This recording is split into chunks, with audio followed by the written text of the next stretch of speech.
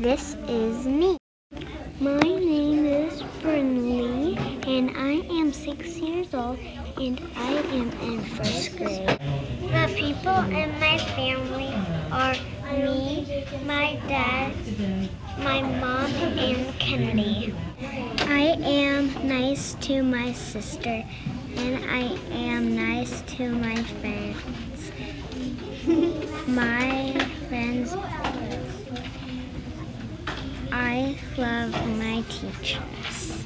I am special because I let my sister sleep and I give my mom a hug in the morning. When I grow up, I will be a vet and I will take care of my kids.